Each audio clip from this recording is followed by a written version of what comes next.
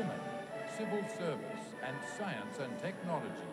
Proposals for providing the region's human capital needs now and into the future are shared and plans are drawn up for region